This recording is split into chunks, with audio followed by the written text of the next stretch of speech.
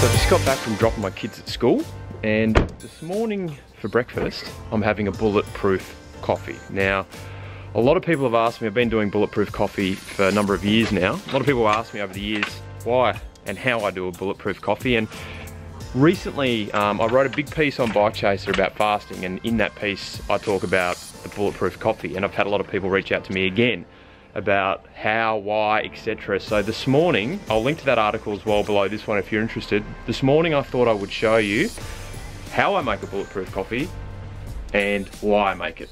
So everything's set up in the kitchen, let's go.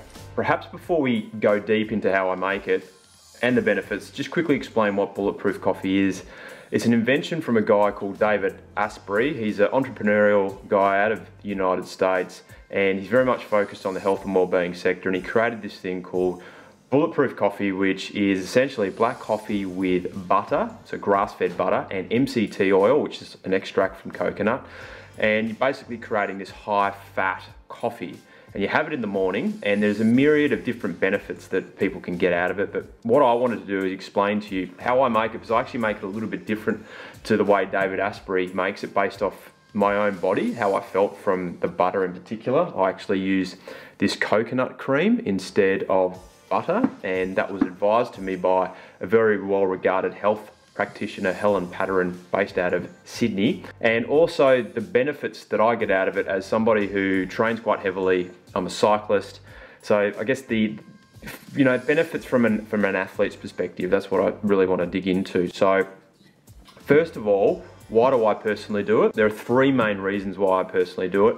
Number one is I do it to just give my body a rest. There's a lot of interest these days in fasting, intermittent fasting. So a good intermittent fast would be 16-8. So you're giving yourself 16 hours of rest and eight hours you're eating. So say if you finish eating at 7 or 8 p.m. in the evening and then you go through to noon or 1 o'clock, the following day, that's considered an intermittent fast. Now, does the bulletproof coffee in the morning say that it isn't a true intermittent fast? Maybe, but it's it's just a little bit of liquid and I'm addicted to coffee. I can't get by without it. And doing this enables me to have my coffee fixed, but also enables me to have that intermittent fast. Now, 30% of your daily energy is spent on consuming food. So you take away one of those meals. So let's just say maybe on a day where you do a bulletproof, you're doing 20% of your daily energy is on burning food. So you're saving yourself 10%, and that gives your body more of a chance to have a rest, recover better, get rid of toxicity, etc. So that's the first reason. The second reason is that it helps to reduce blood sugar and manage your insulin levels. So a lot of us have become reliant on carbohydrates. You tend to spike your insulin and you're, you're going through ups and downs through the whole day. And a lot of people that do eat a lot of carbohydrates snack a lot as well. So when you're having this coffee, it's full of fat and you're teaching your body to use fat as a energy source, a primary energy source, as opposed to carbohydrate. And what your body does is it turns fat into a ketone and you use the ketone as energy. And the ketone is a much more efficient way, a lot of people say, of burning energy and the, the, way your body utilizes and the way your body operates, you become less reliant on eating and having that carbohydrate spike to basically get yourself through the day. Um, and as a result, you, you sort of tend to snack less as well, and you're more efficient with the way you burn fuel. And the third is weight loss. So I've found with the Bulletproof, doing it particularly in the off season, where I'm, I'll do it two or three times a week, you're basically removing two or three meals from your weekly diet. My off-season weight used to be around 82 kilos, which was probably a touch over. Now I tend to hover around 80 kilos. So it's helped me manage my weight better as well. So the kettle is boiled. So I've got my organic coffee here. I've got my little scooper. Gonna scoop this, put a big scoop in the top of the AeroPress. Got the kettle, boiling water, now, fill that to the top. Now there's a, there's a little filter below the AeroPress, so you can see that coming out. Now, I've got quite a big mug, and I do that because I just love coffee and I want to have an everlasting experience. And I'm just going to wait for it to, you can see, just wait for it to drop down to about here. And then I'm going to refill it to the top And then with the AeroPress, you put this on and it sort of suctions the coffee and with the air pressure, just holds it in place.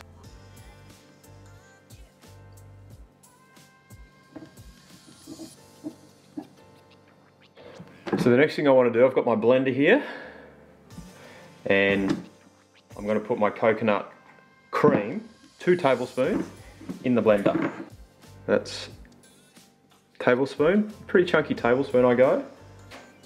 Now there's still a bit, fair bit of coconut cream in there, so what I'll do is I'll put it in a container, put it in the fridge and just use it for the next time. So the next thing I'm gonna put in is this MCT oil. One tablespoon of this. Then the last thing, a little cheeky teaspoon of this mushroom powder. It's not the type of mushrooms that you get in Bali, but it's the type of mushrooms that makes you concentrate better, more energized during the day, and Goes kind of nicely with the bulletproof. It's a teaspoon in the blender.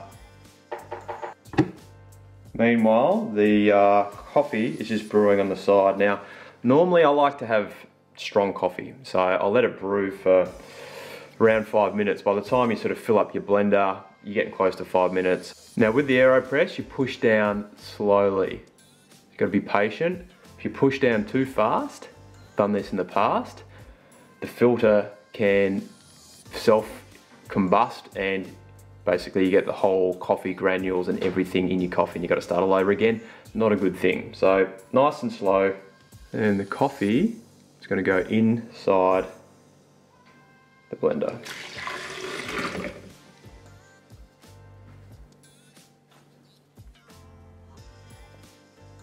Okay, so right now that's not looking too good. Now some people stir their bulletproof and it's highly recommended you don't because it just doesn't blend. It really doesn't, and you get chunks, doesn't taste as good. Okay, you don't need a fancy Vitamix blender, any blender will do.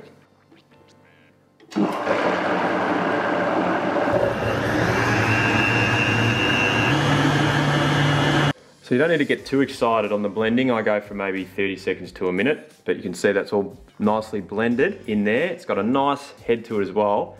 It's actually a very nice sort of creamy latte type scenario.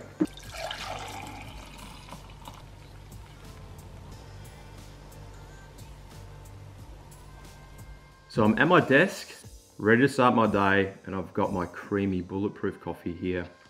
Oh man, that's good. And I wanted to share just a few things with you if you're thinking about trying this intermittent fasting or bulletproof for the first time. Things you need to be thinking about. First of all, this is a rest day for me, so I haven't gone and ridden 50 or 100 Ks this morning. And if I do that, I tend to want to fill my body with good quality nutrients for recovery purposes post ride. So I would recommend doing these on your rest day. Additionally, if you haven't done a bulletproof coffee before and you've been eating breakfast for the last 5, 10, 15 years, keep in mind that you're gonna to have to condition yourself and get used to this process. You're not gonna see or feel the benefits straight away. In fact, you might struggle for the first few weeks of doing this. I know my sister has started doing this and she's been getting super hungry at say 10 or 11 a.m. So what I suggested to her and what's recommended is don't have your meal then straight away. Don't go straight for, for a mid-morning breakfast or some lunch. Take a handful of good quality fat, so that's raw nuts, walnuts, cashews, etc. Make sure they're not full of oil and salt. Raw nuts, and have a handful of those and that will sustain you until lunchtime or take a boiled egg or something like that. Additionally, like if your body hasn't really used ketones as a primary energy source before, and I'm certain there are a lot of people out there because they eat carbohydrate for every meal, your body is dealing with a new way of using a different energy source, so breaking down fat into a ketone for the first time. So you might feel a little bit strange. So just keep in mind that it's not gonna be for everything once you condition your body. And for me, in the mornings now, when I do a bulletproof coffee, I've noticed operating off ketones, I'm much more laser focused for work as opposed to having a carbohydrate meal in the morning. Now, the last thing I'll mention, which is super important, is for your first meal, once you break the fast, so after 16 or so hours at noon or one o'clock, don't have a high carbohydrate meal. Don't have a pasta or a pizza or some rice. Have something which is sort of well-rounded. Make sure you've got some good quality fats in there as well through avocados, raw nuts, etc. And that will ensure you're not spiking your insulin level and that will ensure that the next time you do a bulletproof coffee, it'll be a little bit easier. And then the next time you do it after that, it'll be a little bit easier again. And then you'll just get used to it and you'll actually really enjoy the experience like I do and you'll get those benefits that I talked about at the start of the video. So I hope that's been useful and insightful for those people out there either thinking about doing some intermittent fasting or trialing bulletproof coffee. I'll catch you in the next video.